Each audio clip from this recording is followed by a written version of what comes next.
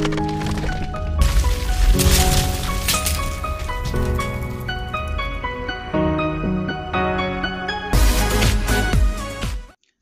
Morning students आज हम लोग क्लास ट्वेल्थ में एक पोएम आती है from the passing of Arthur जिसको कि राइट किया गया है अल्फ्रेड लॉर्ड टेनिसन के द्वारा।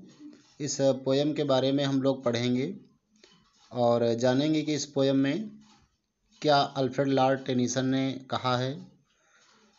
तो जैसा कि आप देख पा रहे हैं, ये हमारी पोएम की प्रथम पंक्तियाँ हैं।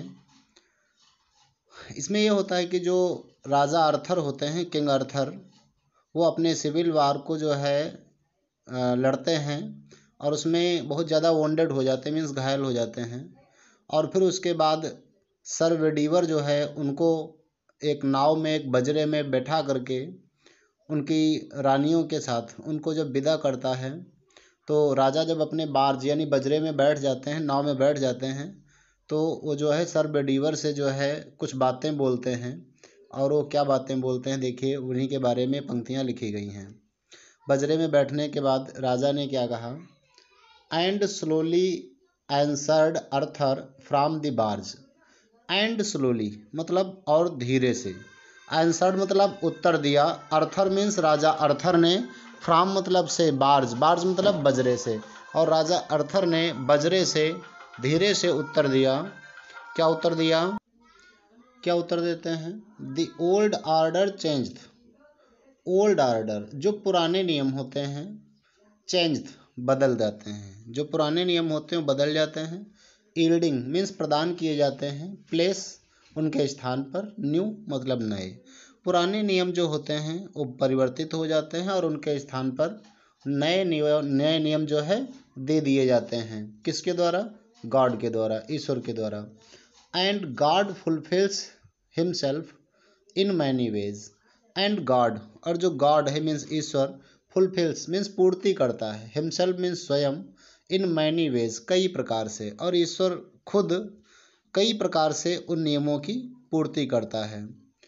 क्यों? जिससे कि कोई एक ही परंपरा इस संसार में न चलती रहे, परंपराएँ, नियम जो हैं थोड़ा परिवर्तित होते रहें।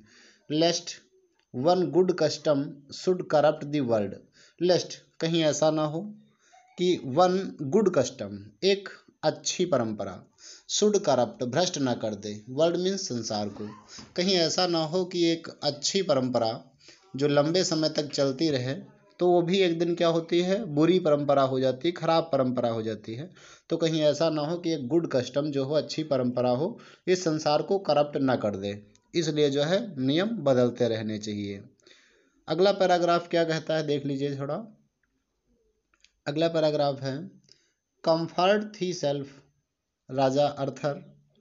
बेडीवर से कहते हैं, कंफर्ट थी सेल्फ कंफर्ट मीन्स वैसे तो होता है आराम करना। लेकिन यहाँ पे अर्थ निकालेंगे सांत्वना दो थी सेल्फ स्वयं को। राजा अर्थर बेडीवर से कहते हैं, अब आप लोग स्वयं को सांत्वना दीजिए। What comfort is in me what मतलब क्या कंफर्ट मीन सांत्वना? इज़ माने है इन मी मतलब मेरे अंदर। अर्थात मेरे अंदर अब ऐसा क्या है कि मैं तुमको सांत्वना दे सकूँ? अर्थात मैं तुमको सांत्वना कैसे दे सकता हूँ? अब तुम लोग स्वयं को सांत्वना दो। क्यों?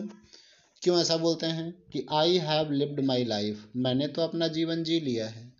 एंड दैट विच और वह जो आई हैव डन मैंने किया, और वह जो कुछ भी मैंने किया, में ही ही मतलब वह, कौन? ईश्वर।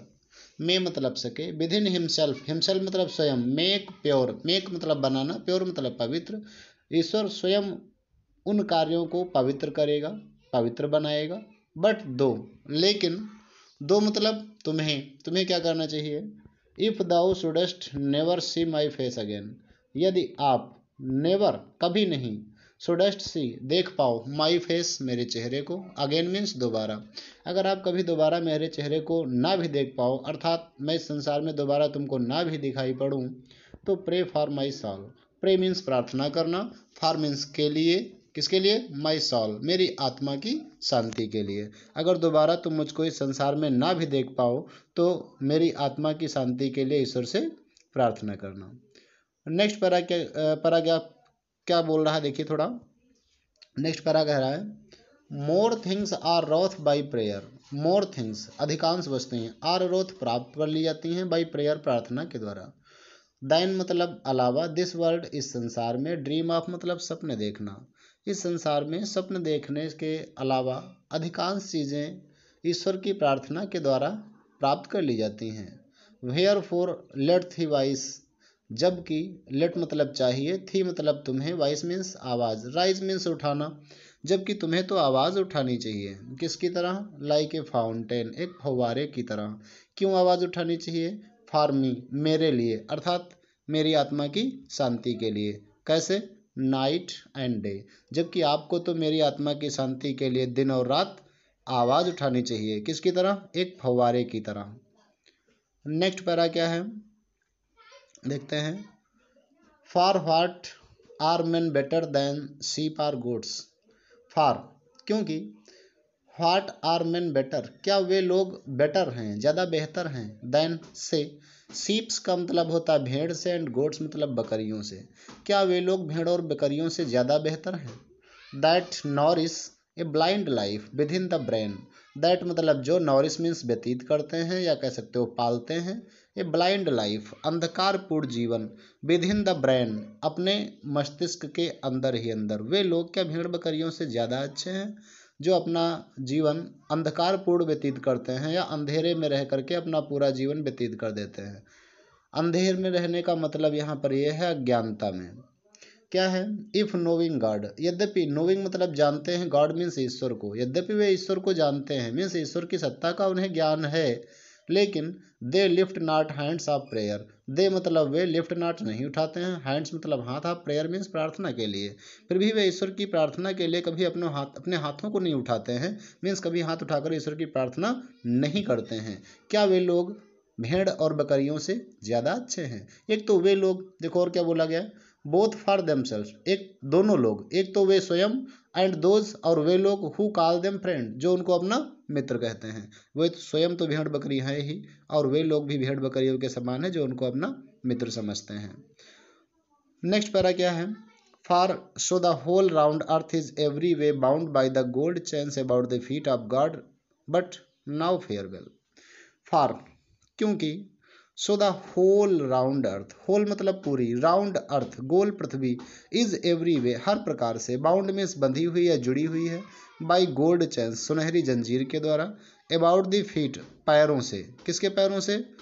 ऑफ़ गॉड ईश्वर के ईश्वर के पैरों से, एक सुनहरी जंजीर के द्वारा चैन के द्वारा, ये पूरी पृथ्वी जो है, वो क्या है, बंधी हुई है मीन्स जुड़ी हुई है, किससे? ईश्वर के चरणों से, किसके द्वारा जुड़ी हुई है? एक चैन के द्वारा। वो चैन कौन सी है? प्रेयर मीन्स प्रार्थना की चैन।